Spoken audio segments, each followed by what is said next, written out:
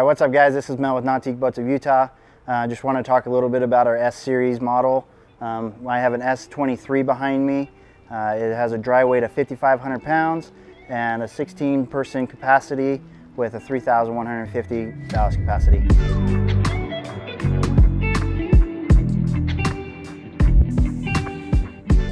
All right guys, we're here, up here in the bow of this S23. We do have a little bit more of a traditional V-hull style. Um, great for wakeboarding, wake surfing, things like that. Uh, this boat has plenty of storage up under the front. We have JL audio, spots to charge your phone.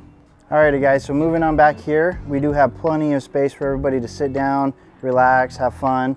Uh, we got a screen up here that's very user-friendly, heater hoses, heater defroster up front, plenty of storage up under these compartments up here and a, a bench that pulls out so everybody can watch the rider.